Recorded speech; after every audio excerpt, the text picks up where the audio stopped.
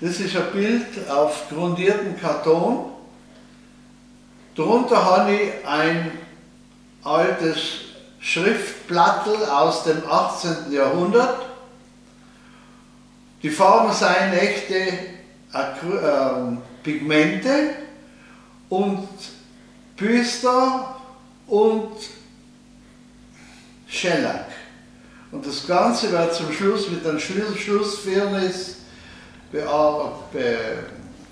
abgedeckt und das Bild heißt Gartenblüte.